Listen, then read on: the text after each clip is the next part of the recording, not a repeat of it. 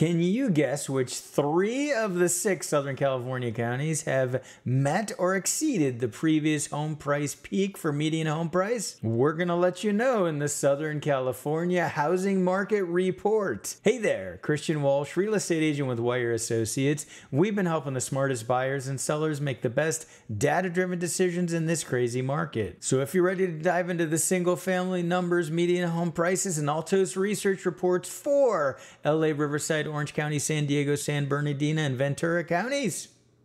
Hit that like button and let's get started. Diving into the data that we've pulled from the California Regional MLS, and we have the sold properties, we have the properties under contract, so that's buyer demand, and we have new listings. So there's our supply, and we're comparing year over year. We're looking at Marches going all the way back to 2018 in these numbers.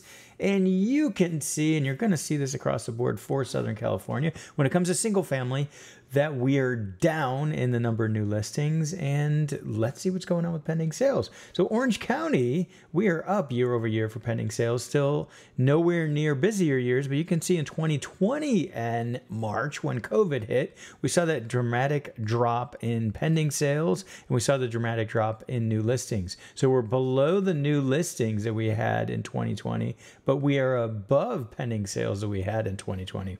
So, th- again, year over year up for pending sales. So demand continues to keep on shucking along, even as interest rates are going up. And we'll see what happens. Uh, the latest inflation numbers just came out and pushed interest rates up again, though not over 7% again.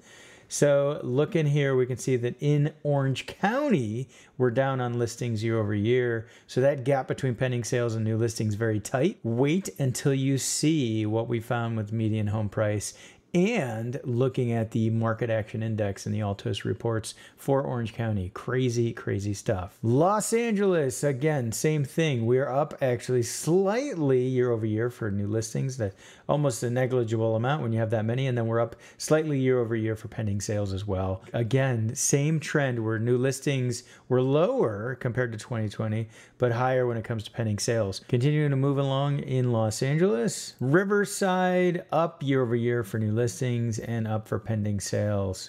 So another market where things are continuing to improve. San Bernardino, new listings, pending sales up. You noticing a trend? Well, and then we get to Ventura, and poor, poor Ventura marching to its own drummer, like we always say.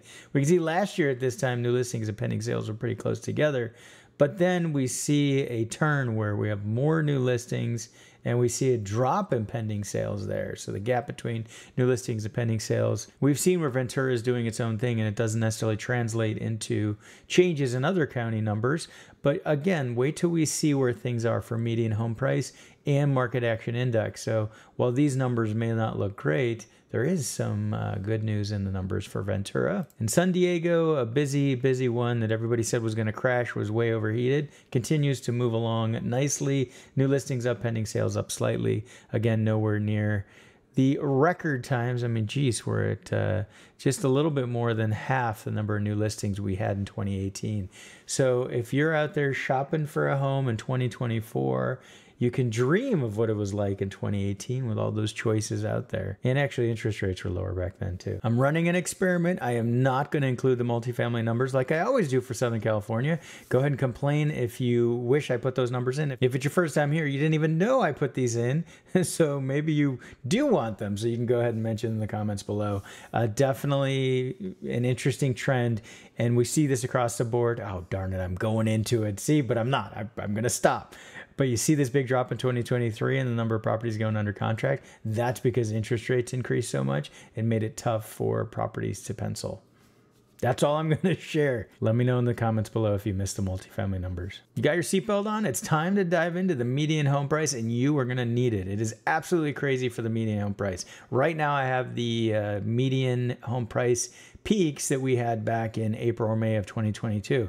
Now, half of Southern California counties have hit it again or are beating it right now in this month. So, can you guess which three they are? Not going to tell you. Well, I guess I will tell you in a minute. You can write it down in the comments below and then edit your answer. I won't know if you do. So, looking at month over month, we can see that Orange County's got a huge jump month over month. LA's flat. Riverside is down slightly month over month.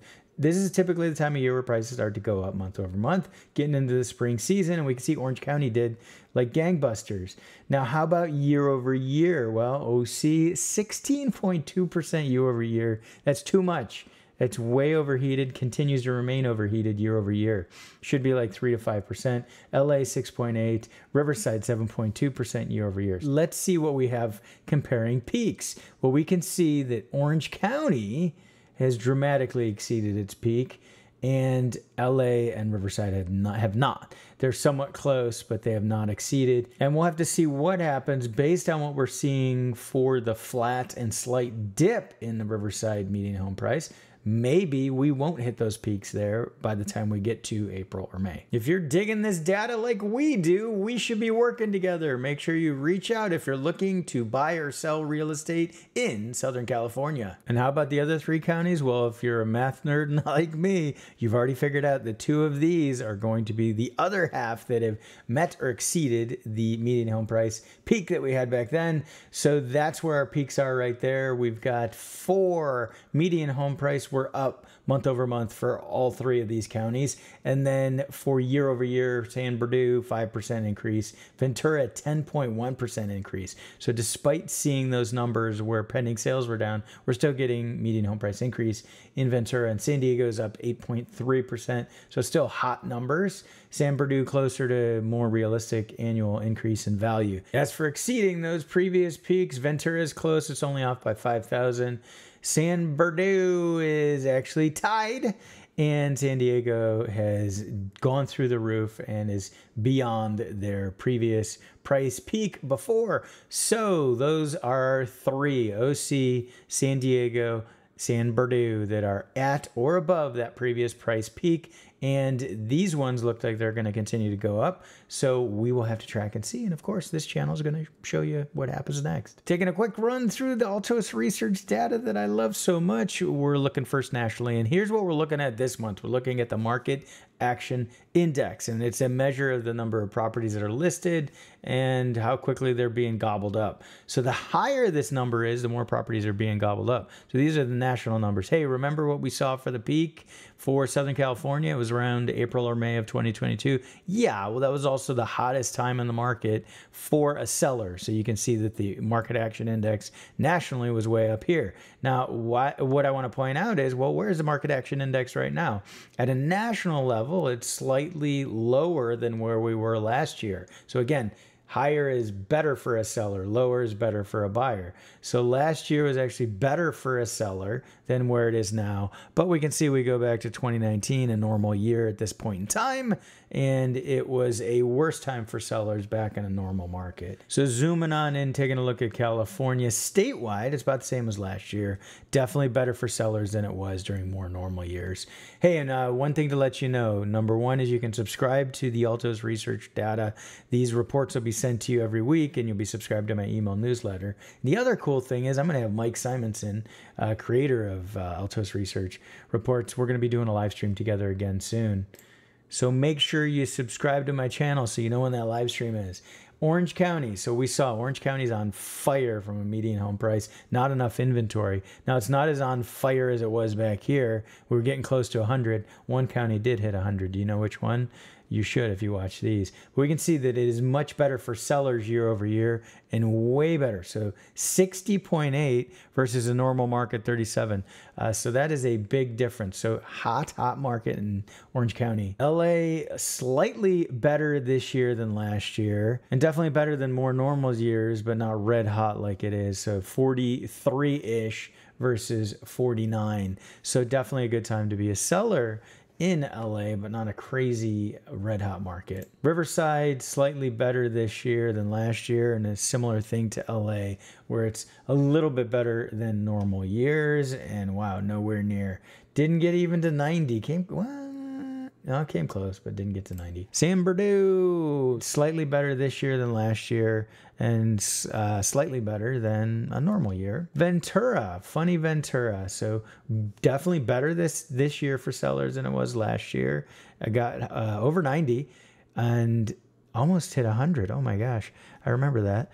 And then uh, definitely better than more normal times. San Diego is our one that hit 100. It was 100. It was 100% of seller's market back then when we had those uh, price peaks in the median home price. About the same this year as last year when it comes to the seller uh, market out there, and definitely much better than normal year. So see 45 versus 62.